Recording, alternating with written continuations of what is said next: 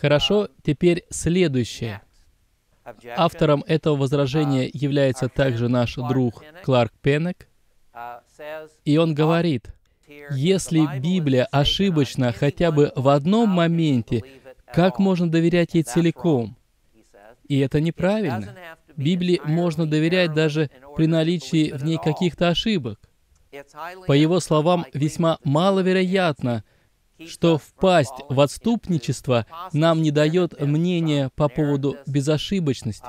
В 70-е годы прошлого века была написана книга «Битва за Библию», и в ней автор говорил о том, что те евангельские христиане, которые отступили от позиции безошибочности, в конце концов оказались в очень плачевном положении.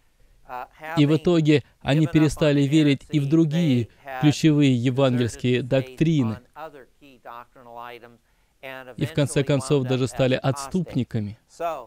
И Пенек отвечает на это утверждение из книги этого автора, Линзеля, и говорит, подождите-ка, очень маловероятно, что если кто-то защищает веру в безошибочность Библии, то это удержит его от отступничества. Ведь посмотрите, как много людей, которые верили в безошибочность и в то же время отступили от веры. Поэтому нельзя спешить заявлять, что если не веришь в одно, не веришь во все. И лучше не говорить, что если я не уверен в чем-то, то я не могу быть уверенным во всем. Именно поэтому здесь упомянуто слово «эпистемология». Что ж, Пинок дальше продолжает, что мнение о неблагодухновенности Библии по причине имеющейся в ней хотя бы одной ошибки открывает двери для целого ряда дискредитирующих Библию теорий, которые ведут к либерализму. И он говорит, что с нашей стороны было бы разумно не впадать в либерализм. И что же нам на это возразить? Я думаю, уместно будет сказать следующее. Во-первых, то, как Пенек формулирует это возражение, как он его преподносит. Ведь на самом деле он неверно отражает убеждения защитников безошибочности Писания. Мы не говорим, что неверность в малом ведет к неверности во всем. Вместо этого мы говорим следующее. Если есть даже какая-то незначительная ошибка, то это открывает возможность для других ошибок. А если вы допускаете такую возможность, что могут быть и другие ошибки, то откуда вы знаете, какие тексты истины, а какие тексты ложны? Вот в чем эпистемологический вопрос. И такое утверждение отличается от заявления, что не верен в малом, не верен во всем. И весь дальнейший разговор о том, что произойдет, если отступить от веры в безошибочность, то это уже другая тема, не связанная с вопросом о том, учат ли Писание о безошибочности. И да, я согласен, что аргументация Линзеля не очень выверена, когда он заявляет, что если вы перестанете верить в безошибочность Библии, то в итоге вы отступите и от всех других христианских доктрин. Хотя можно привести много примеров людей, которые перестали верить в полную безошибочность Библии и в то же время продолжают верить в божественность Христа, в Его заместительную жертву и так далее, и далее. Поэтому Линзель, конечно, преувеличивает.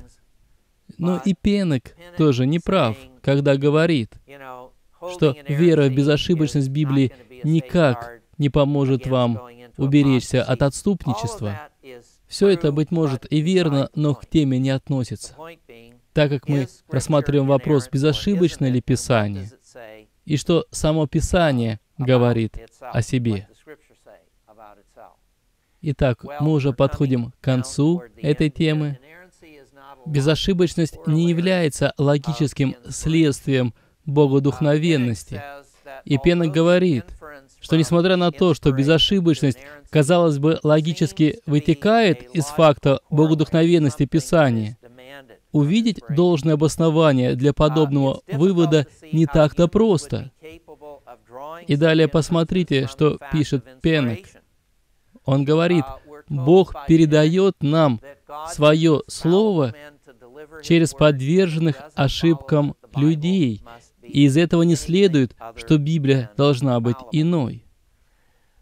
Что ж, несколько вещей можно сказать в ответ на это возражение. Заявление Пинока о том, что трудно увидеть, как люди могут прийти к такому выводу, на самом деле заявление, ставящее под сомнение интеллектуальные способности человека. И неважно, верно или неверно то, что он говорит, просто это совсем не относится к теме нашего рассуждения. Вытекает безошибочность логически с богодухновенности или нет? Или, быть может, Писание учит о безошибочности каким-то другим образом?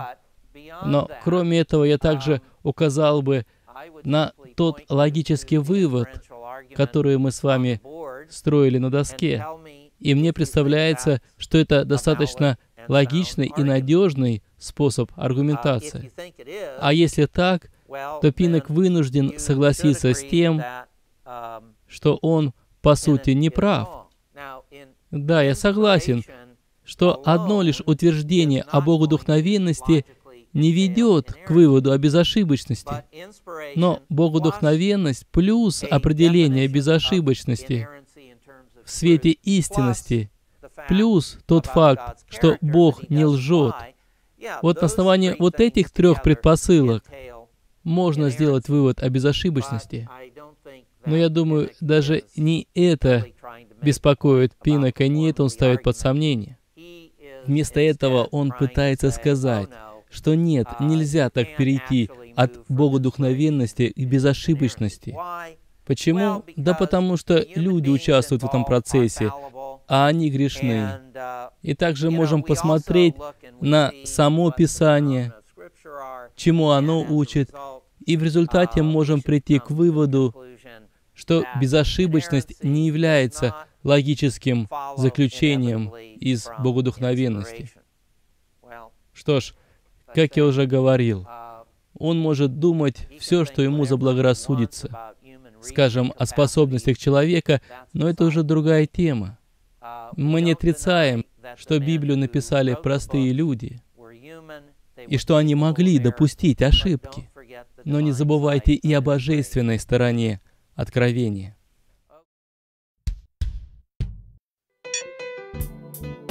Нам не безразлична современная церковь, и у нас есть что ей предложить. Весь ресурс на сайте tvseminary.com